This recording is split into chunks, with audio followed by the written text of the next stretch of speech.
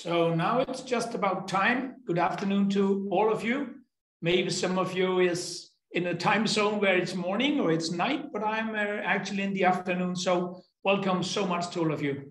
For those of you who don't know me, my name is Mats Winder. I'm so happy to welcome you here to this uh, live event.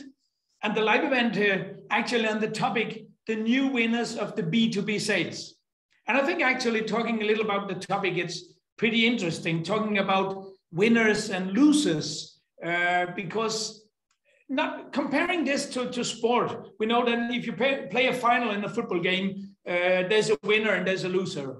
Uh, but in, in sales we're talking about winners and then we talk about all the others who participate in the market but do it without the real high performance. So actually here we talk about you can participate but you can struggle to create results you can struggle to, to take a market share. You can struggle to make customers stay with you and create a relationship and loyalty. So actually what we're going to look upon today is what is it actually going on for the winners in the, in the game of, uh, of selling? Because in the B2B sales, in sales generally, but especially in the B2B sales, a lot has changed. And uh, what you're going to see today is actually not just based on my good feeling about what's going on. It's actually based, as you see here, it's based on a study done uh, by the Danish University of Aalborg University, uh, but done, uh, done in a joint venture with a lot of international researchers. That means it's a research done to show actually what is the characteristics of the winners of the B2B sales. And what we're going to go through today is we're going to go through a little about the report. Later on, you'll you'll get noticed how you'll get that full report because you can get that one to read it because there's a lot of stuff that we don't even address today. But the report will show you a little. But what we'll start with, we'll start a little bit about the background of the research. Why did they actually do it? Because one of the main reasons for doing this was, of course, the changes that happened during uh, COVID because COVID forced a lot of sales organizations to change the way they were selling and the way they were addressing uh, their clients. So that's actually the basic fundamentals of why we did this study. And then we've been speaking a lot about, uh, and there must be a post, uh, a post COVID. And we are probably post, or we are at least now living with COVID in the society. And now it's ready, it's time actually to check in. I know there's a lot of other challenges going on in the world, but let's forget about this for the next 60 minutes and then join the research. And then after a short, uh, a short uh, deep dive in the research, then we'll go through a couple of topics that are some of the most important topics to know about. And, uh, and I'll give you some example of how you actually address them, how you change your organization, how you actually make you ready to be one of the winners uh, in the B2B sales. But let's just start with actually their background for doing this research. One thing here is for sure. What we saw is that customers have changed. Here are the three most important things for you to know. Three most important things to you for you to know. First, you need to know that there is an accelerated change of behavior for using digitalization. Digitalization means that customers, they still want to see a salesperson, but they definitely want to be serving them themselves in part of the buying process. That means in part of the customer journey. We come back to that. That acceleration took far, took, took really speed and pace during COVID because we had to do it. And understanding that digitalization here is not only self-serving, it's also chat functions. It's also that you can actually have these online meetings that a lot of us got to learn. That's actually a great tool. And that digitalization has really made an increase in how it actually works. So digitalization is no longer discussion. It's a necessity when you work in B2B sales. That is the first change with customers. The second change that has really become very important to understand is that even very high complex buying processes has gone online or at least gone more online than before. That means even if you're buying complex systems, software, IT systems, machines, a lot of this stuff has gone more or less online. That means a, a big part of the buying process, we'll come back to that, is done online. That's interesting because that forces us, even that we are selling very complex solutions, that forces us to think about how we can actually be more online, be more present, and be more ready for our clients uh, when they want to buy. That means we service them in a different way. Still, to just calm all of you down, there's still a need for the salesman or the sales lady. There's still a need for us, but we need to change the way we do. And that definitely we'll see also in the research has forced a lot of the, the results we see here that uh, things has changed a lot. Then the last part, what changed with the buyers. And remember, this is how customers changed. Digitalization, buying online, more complex. And then the last part, a very important part, there is a feeling of information overload with the buyers. That means they still want information, but because we all try to go digital and we're all trying to impress them with a lot of information, actually what they feel is there's an overload. They're not, they're not telling they don't want information, but they're telling it's very difficult to find my way. And that means people actually need to be guided. And what you actually see here is that's interesting because that calls for something from our side as B2B salesperson. How do we help them to not have that feeling of information overload, but instead have the feeling of actually feeling that I get the relevant information, valuable information at the right time. So this is really interesting. And that's actually what we saw here. That is that these three things are the main reason for the changes. Digitalization, complexity going online in the buying process, and then a feeling of information overload. Don't stop giving people information, but start thinking about what kind of information you give them, when you give it, and what you give. So I think what we need to understand here is uh, that actually this research was based on these three things. Then we done the research. What we did is we asked a lot of sales and marketing people, CSO, CMO, whatever you call them around the, the international uh, business, uh, sales business uh, market. And what it brought was this here. It brought one significantly uh, difference between winners and losers. I'll come back to that a little later because two main conclusions are here. First thing is that there is a great uncertainty about what is the right thing to do right now. And you'll see that on the right side of this slide here. You see, we asked them a lot about what is actually the most important uh, thing to focus on to increase your sales in the coming period. People could choose more choices here, make more choices. And what we saw is, and you can see that here, actually a lot of these are close to 50%, meaning that a lot of people see this is important. And that is spread over a lot of things from leadership to strategy to, to uh, customers and market to digitalization and then what we see is people are uncertain about what to do. And that actually identifies very much what we're in right now in selling. We're in a kind of a process where people are saying, wow, what can we do right now? What is the right thing to do? And what we see here is there are some things that are right to do. I'll show them, I'll show them on the next slide. But people are really feeling a little uncertain. And then we see a huge difference between what sales organizations actually choose to adapt. Some goes directly into digitalization. Some goes directly into chasing uh, the competences. We see that people goes into different areas, and that's not that's not uh, strange because that's actually a part of being uncertain that people are trying to do something. But we are lucky because the research actually shows a very very clear four examples of what the winners, those who have been more successful during the last years, not only during COVID, but also before actually. It shows actually very, very clearly what they're doing. So let's take a look at that. There are four things that has been really impressing for those who are succeeding more than the others. First of all, let's just start. We see that they have an omni-channel sales process. For those of you not knowing what an omni-channel process is, then it's about we have a lot of channels to sell. We can go directly with our salespeople. We can actually go internet based on our web page. We can use apps.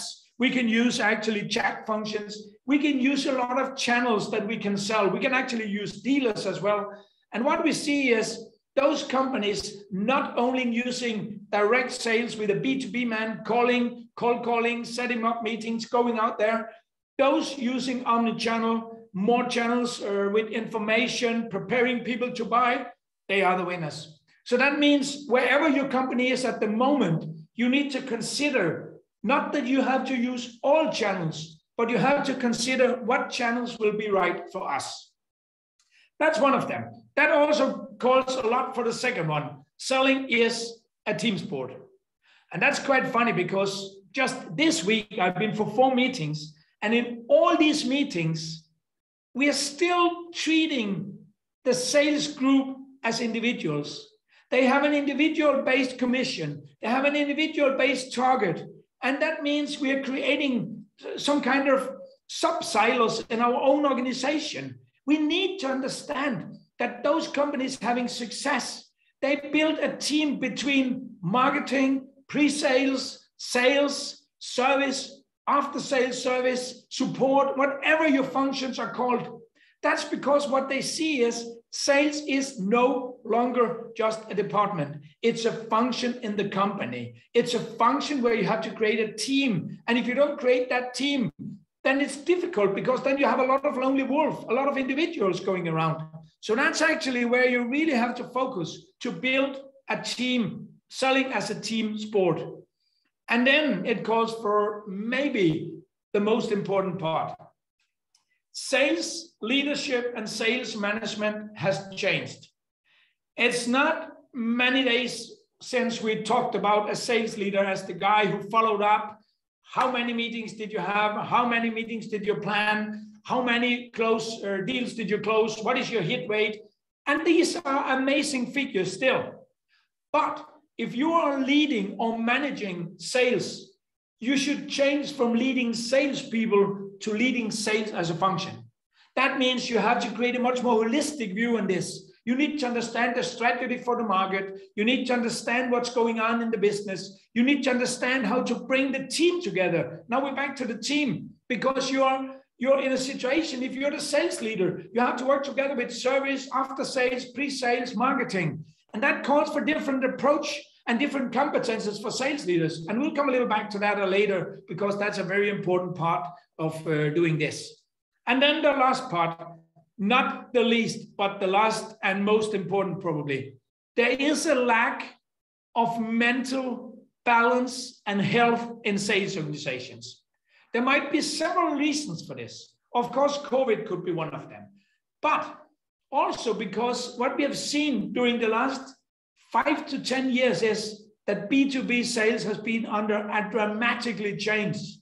So that means change management is also a thing that a sales leader should actually be able to be capable of doing. He need or she need to, to balance their teams. They need to understand how people are motivated. And try to imagine you've been a successful salesman for 15 or 20 years.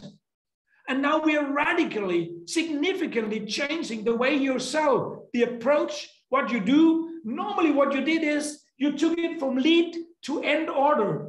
Today, you might not be the one generating leads. You might not do cold calls. You might just do visits. Some of those visits go online. You might then leave it to a technician to take it on. That means to change the behavior of the way to make salespeople successful. That is a huge, huge impact. And that calls for a very strong culture approach. So, what we're going to speak about today is also a little about sales culture. So here we have actually the winners. You'll see it here. And if you really want that report that of course goes deeper than this, then uh, you'll get it. My uh, colleague Mark, he will uh, send emails to all of you after this session where you will get uh, where you will get the, the full report uh, and hopefully you will get more aspects on how you can improve your sales and more inspiration of how you can do it. But these are the four most important things to know. And then just before heading up for what we're going to see today, we're going to see three things today. We're going to look a little into buyer enablement. Maybe that's a new word for some of you because some of you might have heard about sales enablement that I've discussed with you before. But today we're going to speak about buyer enablement. Then we're going to speak a little about sales leadership, and then we're going to touch the maybe most important topic about the mental strength and the culture in the organization. So that's why we are here and welcome to this. For the last 45 minutes, we'll touch these three topics, buyer enablement, sales leadership, and mental strength in the organization. And just to show you in the beginning, two very important figures here, two very important figures. Really interesting numbers because 77% of buyers have experienced the last buying process as very complicated. 77%, that's three out of four, even a little more. Three out of four has experienced the complexity that didn't make it motivational.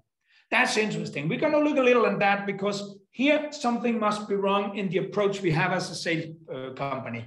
And try to imagine that you experience a buying process as complicated, frustrating, demotivating, what is the likability that you create a relationship and a loyalty and you come back? No, that gives it, that answer gives itself immediately. You won't come back because the emotional feeling is it was terrible. That means next time you'll probably be looking for somebody else. Will you recommend this company? No, because when people ask you, how was it? You'll tell them it was bad. And one of the things that actually, when we talk about the mental part of the salespeople, the other number here is not 77, it's 17. 17% is the time, is the time that people from sales is engaged with buyers in the process.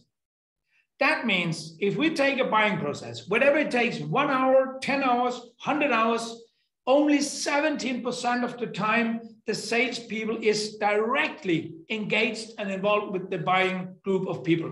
And that buying group of people is between six to 10 people buying uh, solutions for B2B.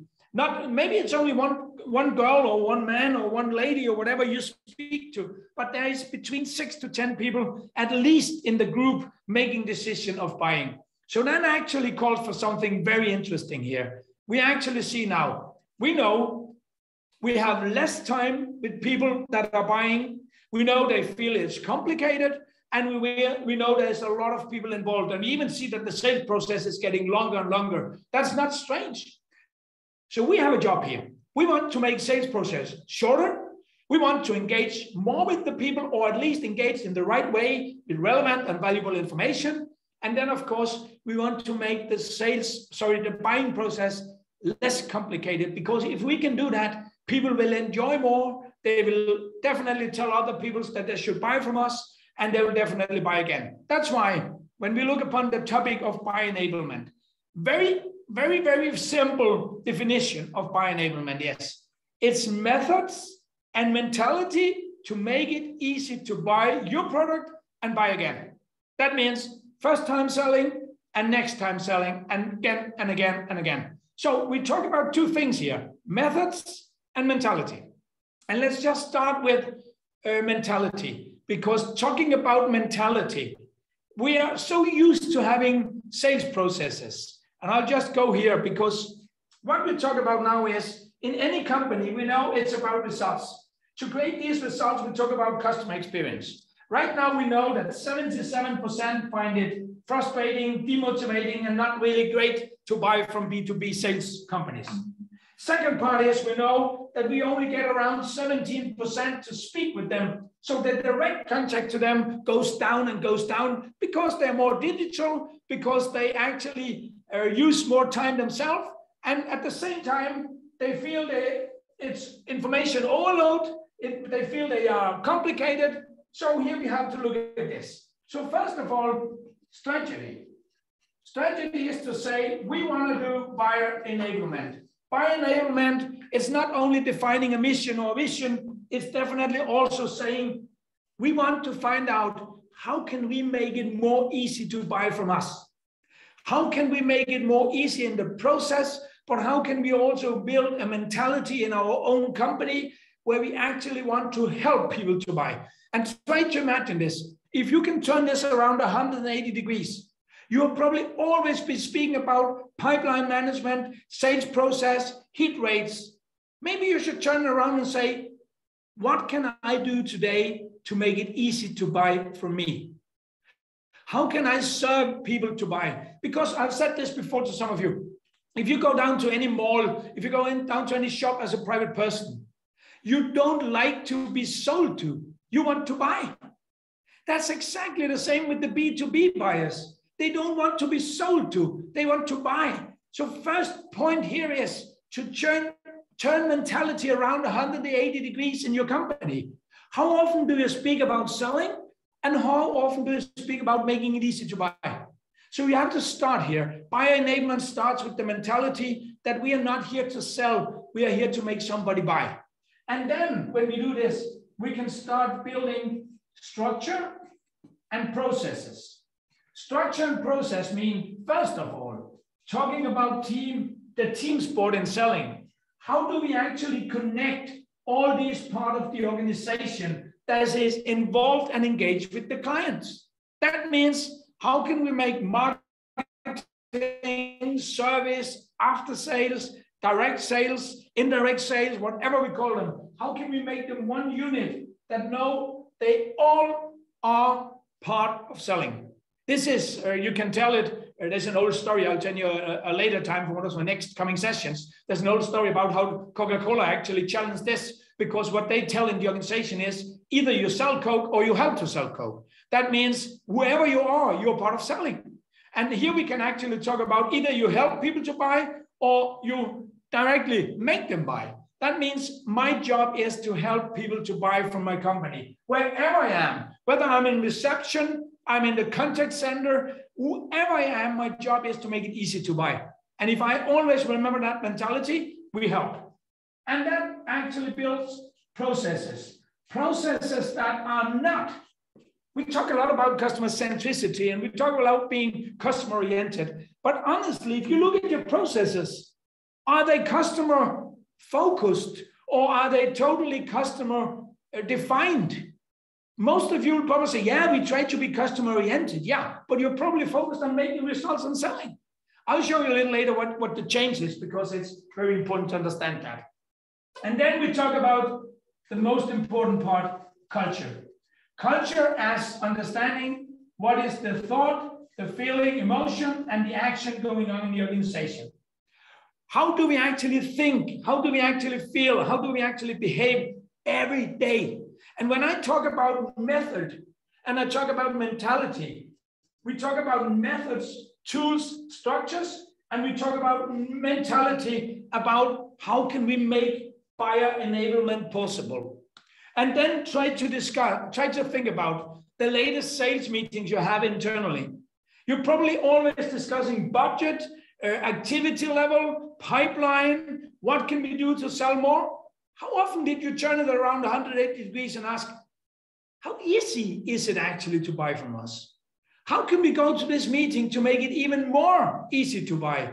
What can I do to understand the buying process? What can I do to understand the people in the buying process? I'll go into that a little later. So what you see now is, I said to you, three things we're going to look in today, and they are related to what the research shows who are the winners of B2B uh, sales, the future winners.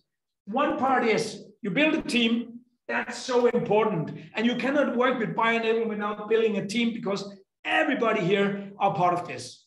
You need to do omni-channel work. That means whatever I'm on a chat function in the service team or I'm in the direct sales or whatever, my job is to make it easy to buy.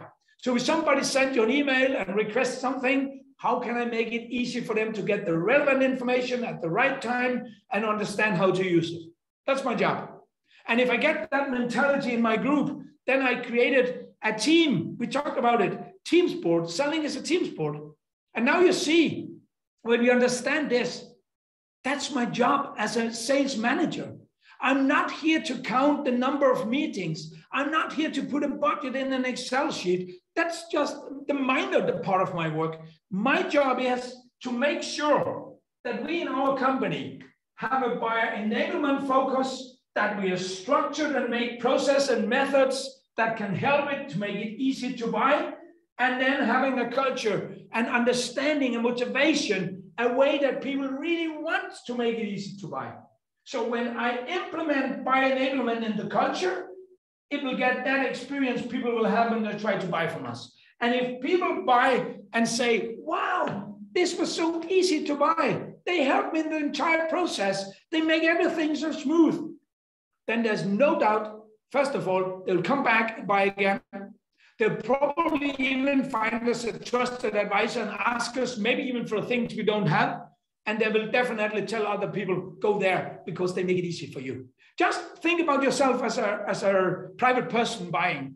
You probably have places where you thought, wow, this was so easy to buy. You go there again because now we could go into one of the other topics we've been through neuroscience selling or neuroscience buying because the brain is per definition lazy and it's also protecting us for not being damaged. That means if I feel easiness, conven- convenience, and I feel that it's safe, I'll go there again. So what we have to have an aspect here is buyer enablement is actually selling to the brain of the customer by understanding their position, their situation, their challenge, their struggle. And normally when you talk about struggles and you talk about needs, because we'll go into this now, then I think you're very often talking about what is the problem with the client? How can we solve that problem? But you're talking about a, a problem that you need to solve when they have bought your product. You see, here's a process. You are talking about they have a need. If they buy my machine, they can manufacture more or they will have a less uh, stop and more running time. Yes, that's great. But before having your machine, there's a buying process. And that's where buyer enablement comes into it. So what we have to understand here is, some of you probably participated before. You have to understand, first of all, we're talking about the infinity loop. The infinity loop is the customer journey. The customer journey, and actually, you know, is designed for new customers and existing customers. How do we make it easy to buy? That I won't go into this one today. Some of you want to, to see more of this. You might be the lucky one because today we're giving away five free workshops uh, in which you and your team can have me for one hour and we'll discuss how you can actually work with buyer enablement or whatever you want to discuss. We'll discuss that for one hour. That's free. Mark, my, uh, my colleague, he will give you a form that you can sign up if you want that workshop. Five of you will be the lucky winners. So here you actually have an option. But customer journey. Customer journey is the journey customers go through when they want to buy. This is the infinity loop to see that we sell to new and to existing. We'll go into the next level. This one we won't go deeper into today. To make it very easy to understand a customer journey, we put it in four steps. And this is always seen very much with the sales approach because what happens is customers get a need, then they gather information. When they do that, they ask everybody else about recommendation, and then they get ready to buy. So now we have the customer journey, very simple version. It's of course more complex, but what we can see now is we can now start going into this one because what we can create here is we can actually create a buyer enablement process that is aligned with this process. So what we see here is normally when we talk about the infinity loop, we talk about people getting aware. That's actually what's happening here. They get aware of what's going on. When they have this awareness, what happened then is they start considering. The consideration goes here, and then they are getting more information, they get recommendations, and then they are evaluating what should we actually do. These things are going on. So how can we actually help them? Remember, you still haven't sold anything. You're just making them ready to buy. There are four steps here. And then even more important, there are two underlying things, two underlying things that we really need to understand. So, how do we get started with buyer enablement? The first step is that we have to understand what is their situation in the company. That means right here, customers are doing what they call problem identification. They are actually trying to say, we need something but we really don't need know exactly what it's going to do for us. Internally in a company here, you have to know who is engaged and involved in this process because it might be let's say you need a software to, uh, to handle salary payments. Then you know you have an HR department, you have a bookkeeper, you have a financial department, you have maybe some uh, GDPR somewhere taking care of information, you have an IT department, you already have now five departments. You might even have a leadership team. That means we have now first step here, a problem identification. What should the product do for us? So if you can service them with information online, relevant information, how do you identify your problem? It can be small calculators online. It can be a conversation talking about this is the first step. And you need to understand there's one problem in the HR department. There's another one in IT. There's a third one in leadership. There's a fourth one in, in the financial department. We need to understand that that problem is not just we need a system to save time. It's also security. It's also a lot of other stuff that's going on. So at first step is to make everything that we present, everything we tell about, understand that in the early stage, they are just wanting to have problem identification. Then we move on because now what they need is solution explanation. Very often we are afraid of telling about solutions because we've learned so much about need, need, need. Yeah, but now I want to know how it works. And that's actually one of the things that we hear very often from B2B buyers. Tell me very easily how it works because I have a problem. And if you cannot explain me how that problem can go away, I don't want to buy. So we have to practice actually that we can make very, very easy explanation online, virtually, or even physically when we're there.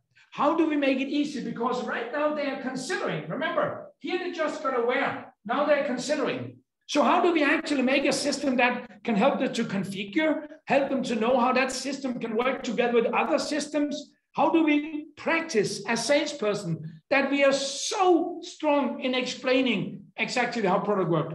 I don't know how often you tried it. I tried it a lot of times. I have a big interest in the product. But when I speak to a salesman, he or she makes it so complicated to understand how the, the function is, how the solution works. So here it's actually making it easy to understand. You have this problem, we take care of it that way. And then when we go to this, then we need to help them because the minute they know their problem, the minute they know how the solution works, and that solution should, of course, be explained for HR, financial, for the service part, for the leadership, everybody who's involved. Then we come to a situation where what we do now is we build their requirement. And that means actually we help them. We help them to see, okay, we know a problem, we understand the solution, and now we tailor exactly what kind of solution we need. So here you help them with tools online, or at least when you're in the meetings, you help them to build a solution. And because you're a salesman that only has 17% together with them, what you need to do is not to tell too much about the product. You need to tell about the solution, explain them how it can actually help them and build requirements. Tell them you don't need to do this because that's overkill, or you definitely need this one. This is your requirement. So what they will have here is they will have one feeling that, wow, now we have actually the entire requirement. We can actually make a specification. And then what is important here is as I said to you, six to 10 people at minimum is engaged in a B2B buying process. That means, as I said, purchaser, financial, IT, and you need to know them. They are engaged here, here, here. And during this period, you need to make sure that they all have a validation that it's feeling good. You need to check do they see the same problem? Did you identify all the problems? Did you explain the solution so they're all happy with this? And did you build requirements that actually take all their needs into consideration? The minute you start doing that, then you will help them to one more thing. And that is actually maybe the most important thing for the sales guy. Create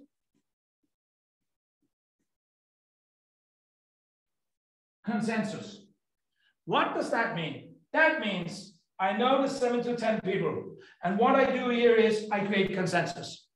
I even might need to bring them together in a meeting. I might need to call more of them. I, and even, let's just, again, take the example, a salary system, a salary software. I speak to HR, HR connect me to financial.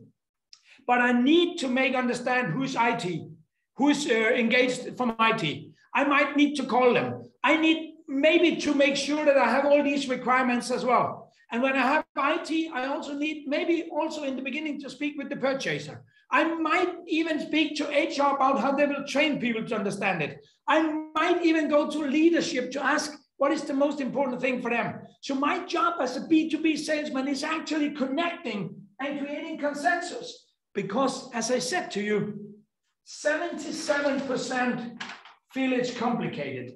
The biggest frustration is that they are arguing internally. And you're only there 17% of the time. So your biggest asset and biggest task here is definitely to make sure that they can validate, did we actually have the identification? Did we understand the solution? Did we build the requirement? And how do you build the consensus between the departments so everybody will feel so to speak, happy. That's your job as a salesman because I don't know how many of my proposals I've lost because I didn't speak to decision makers. I spoke to some of them, but I didn't create consensus. I didn't bring them together. I didn't understand how important it was. That means that the sales guy, he's no longer a storyteller. He's no longer just a product explainer. He's understanding the process of buying. He's curious about these people, their needs, their positions, what's in the game for them. And then when you've done this, you can help them to make supplier selection. And supplier selection means don't be afraid that they know you have competitors because they already know. If you think you can keep it a secret, you're more crazy than you should be. You cannot keep it a secret. So having an open mind, maybe even sometimes speak about where are you stronger than competitors? Where are they stronger than you? That means you can actually look upon how do we actually position ourselves. And then of course, you can take it back to the requirements, back to the solution, back to the identification. This is actually what is so important to understand. Buyer enablement is making tools online, virtually, physically that can help them to identify, understand solution, build own requirements, and select the supplier. And your job is to validate in all steps. And what you do here is, a lot of you have probably been on, on the internet, seen that you can do a diagnosis. Are you, uh, are you looking for a new IT system? Take our tool here, take the test. I just went to, a, I spoke to an energy supplier this morning, and they have a lot of tests for, for people to do? Is your consumption in the right level? Compare your house to other houses. How can you do to bring down your consumption? Everything they do to make it easy for me to understand. That's what you have to do. And then, of course, you're, you're the one connecting them to all this. That means also a lot of these tools that we have online, the sales guy need to do use them in his sales job. Some do it uh, physically. Some do it when they speak to them. Say, well, before we meet, please go to this we have a, a, calculator that will actually tell you how much you can save or how much you can gain. So make them use these tools. But that calls for one thing. And now we're back to this. This calls so much for a sales leader that actually make their team a team. That calls for somebody who practice with the sales team how we use the online tools. Because very often what I see is online tools are developed by IT together with marketing, and they're not used by salespeople. Salespeople don't even know them. So how, how do we actually train our salespeople to understand this is the process? And we have the following tools. We have tools to help people to identify problem. We have tools to explain solution. That could be videos or tutorials. We have tools to build requirements, that is actually putting up the proposal, asking what to do. And we have even tools to do recommendation, comparison with suppliers. That means you're very often, if you look at a lot of the, the software companies, when you go to their webpage, They're not afraid of comparing to the most important competitors because they know that their clients will do it anyway. And remember, I'll just go back to this slide here. Remember what is put up here. People feel information overload. Wow, that's great. Then why not make it easy for them to understand? That means I can actually help them. So I can just make a chart telling them, this is my product. These are my two main competitors. During this session, you probably ended up with me and these two. That's normal. Here I can actually show you what I can do. And that actually fits your requirement. So don't be afraid of your competitors because you know they're there. But a lot of salespeople, oh, it's a competitor, keep your mouth shut. Don't speak about them. Don't speak bad about them. Don't even mention them because your job is not, it's remember, selling is not a war. It's actually a peaceful situation. So what you do is you make it easy to buy. And you do that by having a job as a buyer enabler. You make it easy to buy, easy to understand your problem, easy to understand the solution, easy to build your own proposal, easy to select the right supplier. You should focus on helping them validate and create consensus. consensus. And what your job is, now we talk about sales leadership. Your job as a sales leader is no longer just to measure what your salespeople are doing. Uh, your job as a sales manager is to make sure that everything here is about making it possible to buy. Whoever is doing something how do we make it possible to buy? That is your job as a sales leader. So I no problem that you still measure your salespeople, but speak less about results and more about process. And I'll go into this because maybe you remember the third part we're going to speak about today, mental situation. I'll just give you one example here. I hope you will be able to see what I'm drawing here. I'm drawing a guy here. We call this guy George. George, he's a pretty big boy and he has a job. He wants to lose 30 kilograms. He wants to go down in weight. He has been on so many diets. He's done this several times. And uh, he wants to do a change now. He wants to do a radical change. So he asked you to be his coach. But there's one limitation because you have to help him. And he knows it's a process. This is, uh, I could go back here uh, to this one. This is exactly what we know. There's a job to do when you want to be on the winning team in B2B sales.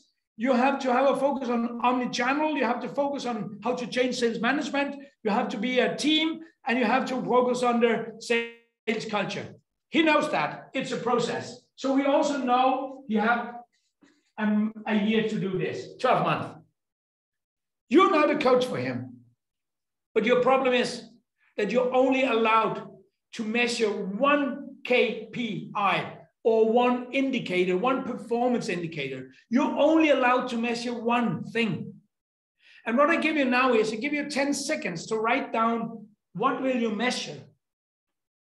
And while you're writing down, you get now these 10 seconds. Try to remember you can measure one thing, but you can measure it as often as you want to but only one thing. And the interesting thing, now you get your 10 seconds here. I'll be calm for just 10 seconds.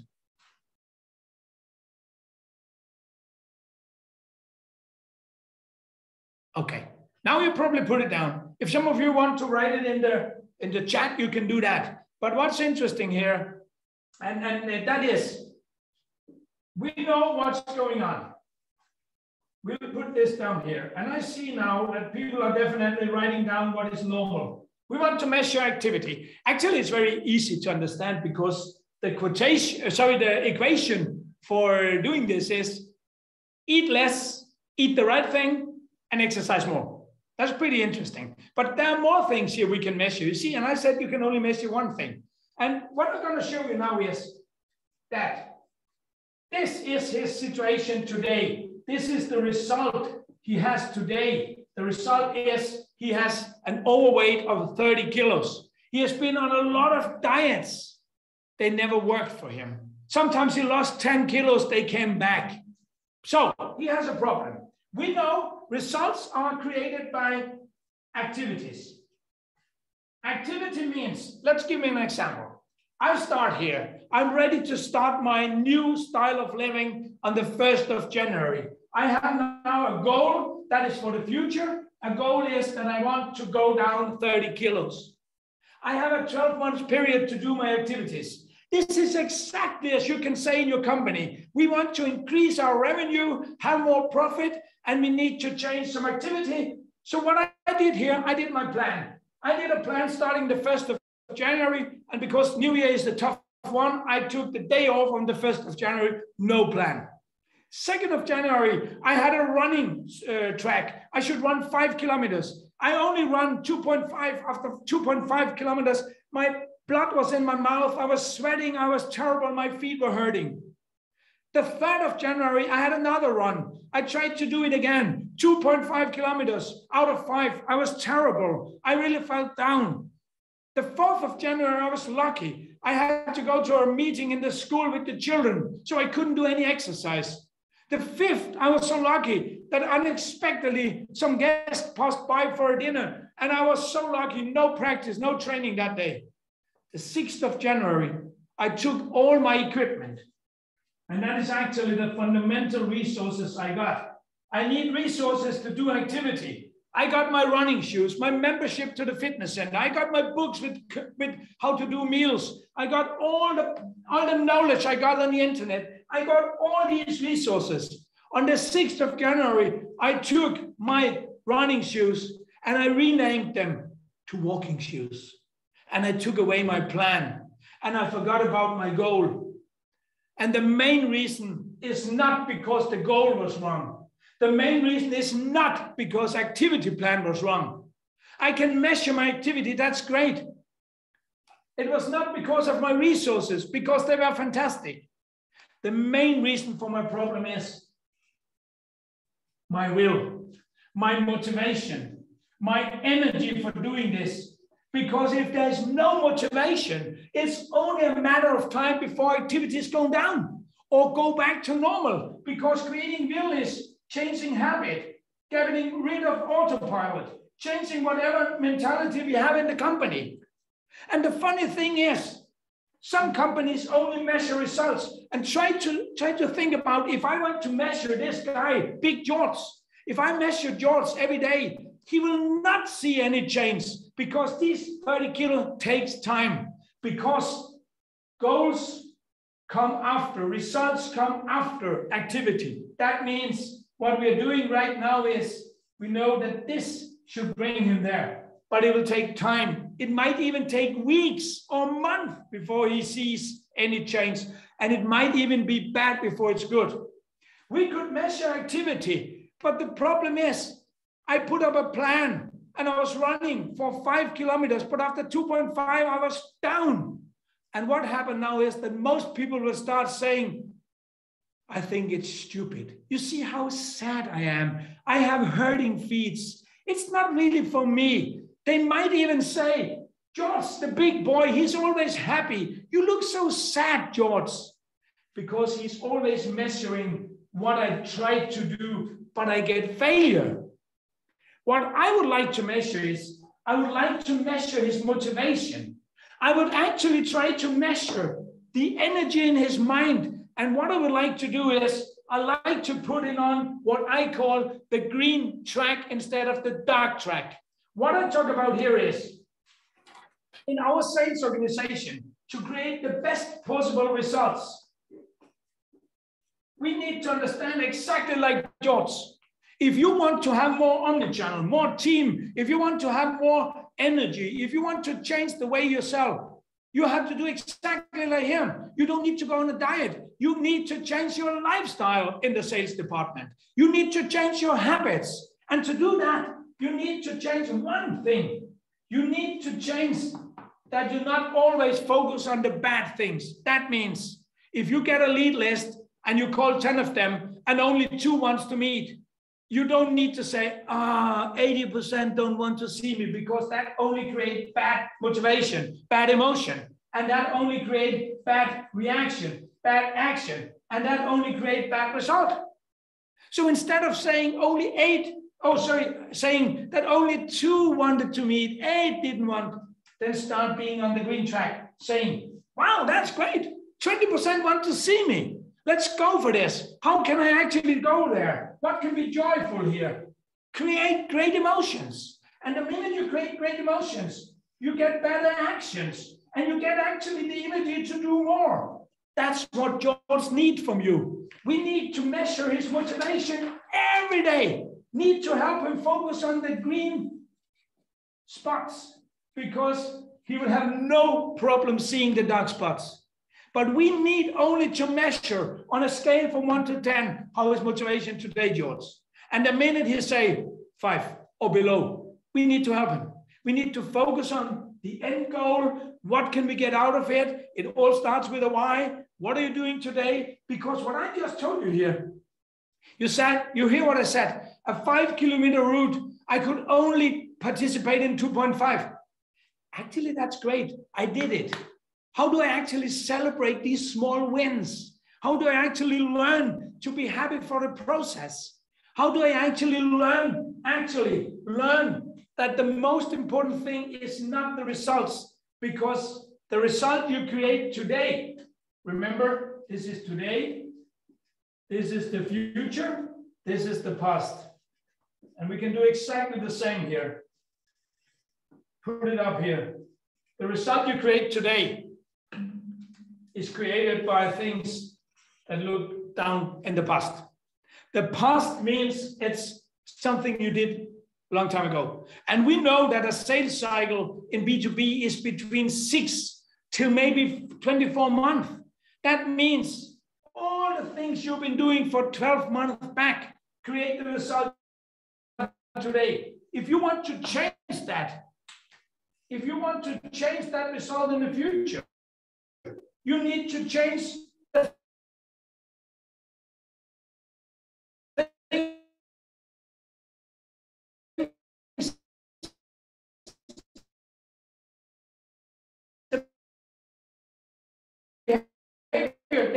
activity now.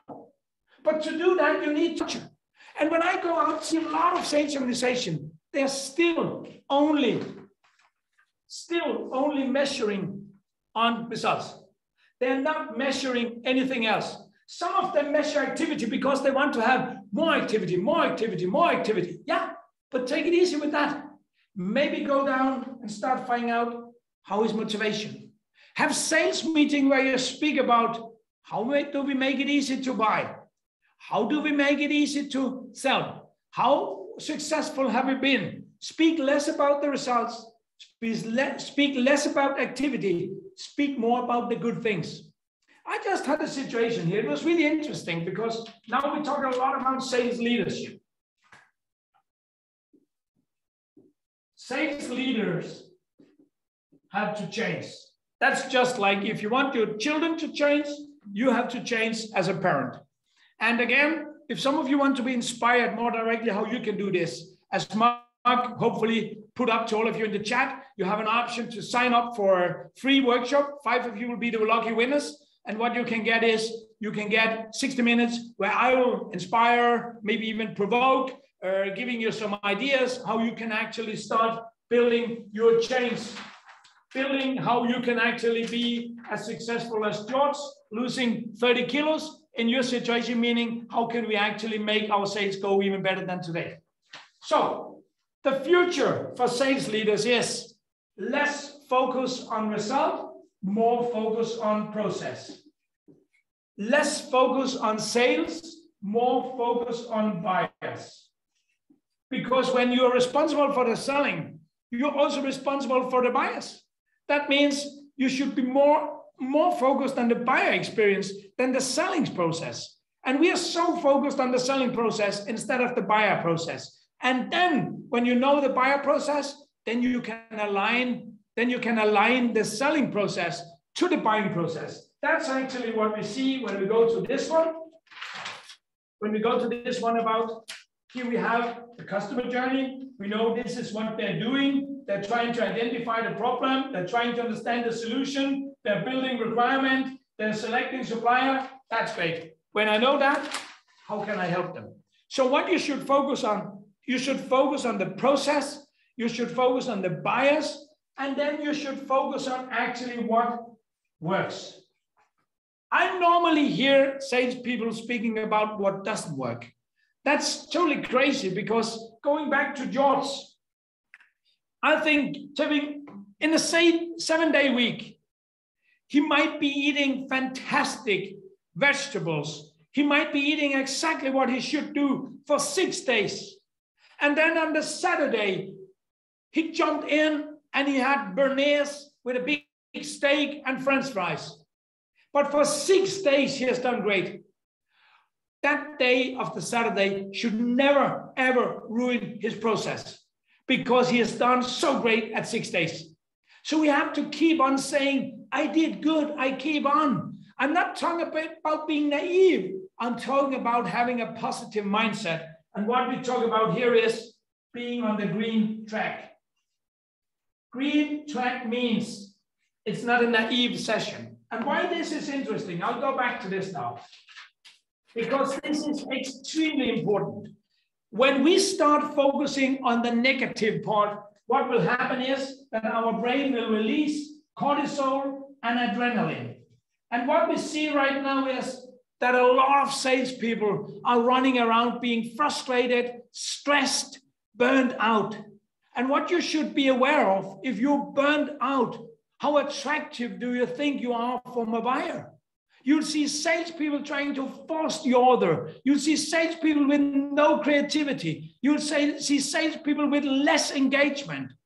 And what you'll see is they have less capability of connecting with people because when you're more stressed, you get le- less present, you get less attractive. So if you're looking for a girlfriend or boyfriend and you're stressed, you'll never find any.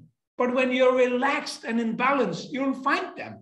It's the same with bias. So sales people that are stressed and under pressure, they never succeed. That doesn't mean adrenaline isn't good because it's great to have a kick that I want to perform. But too much adrenaline, too much cortisol, it eats our body, entire body, and health and mentality up. Then what will happen when we are more focused on the good thing is we will release I'll take the blue one here so it's easier. We will release more dopamine. Dopamine comes when we feel happy, comes when we eat, it comes when we succeed. We will feel more endorphins. Endorphins released when we feel that we are actually doing something. That means I called these 10 guys, I got two meetings, I'm so happy. Yes, it's right. I could have got eight more meetings, but I got two. So we're focusing on what actually works. Then we release dopamine and endorphin, and this is consistently making people happy because dopamine is a happiness drug, endorphin is a happiness drug. And then what we can build is also bring people together, make it a common responsibility, make it a team. Because what happens when you do this is you release oxytocin. Oxytocin is a social drug. We are together to do this. We have a common vision and mission. I know that a lot of you are living in countries where we build a common mission and vision. It makes us proud. So, how can you make people proud about what you're about to change in your company? That is actually leading the culture, leading the mentality. And the minute you start building that oxytocin, dopamine, endorphin, and even make people feel relaxed. When we did this research, I made my own small research. I asked 50 salespeople how they feel before they go to internal sales meeting. I can tell you one thing is for sure. They all have some adrenaline, some of them cortisol, because you don't need to put them in a sales meeting to tell them they don't perform because they know that already. The reason you bring them in a sales meeting is you want to make them feel motivated, dedicated, engaged, and ready to do more. Just like we want to make Big George feel the will to keep on.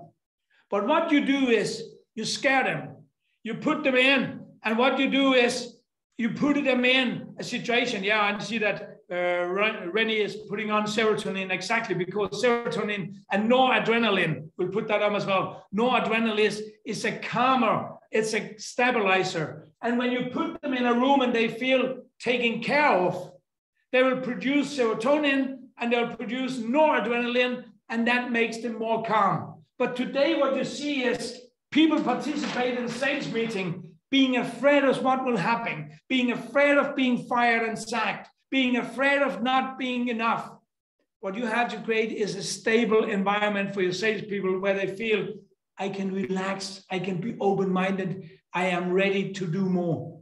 That's your job, not only as the sales leader, but that's your job as a sales team. So, what we see here is, as I mentioned in the beginning, we start by saying we want to have buyer enablement. We build a strong team, and then what we do is we create a buyer enablement organization. So, what you actually have seen so far is to be the successful winners of the future, you need to focus on this. Use omni channels, internet, chat function, app, and direct face to face selling, phone, online meetings. Build selling as a team sport. And that is done by sales managers, not just focusing on activity level and results, but focusing on people, on the will, on the motivation. And then you build a strong mental health in your organization. And for those of you ready and having the courage, courage to have a workshop with me, being challenged, being inspired, being motivated, you can sign up. There's five free workshops. And I really hope that you enjoyed this session. Based on research, we showed you who are the winners of the future in, the, in uh, the B2B selling. And you will all get an email with the report that you can download. And always you can feel free and happy to connect and reach out. Thank you so much for today's session. I hope you enjoyed it. Be one of the winners, change the organization, change the mentality, start with your own behavior. Take care. See you later.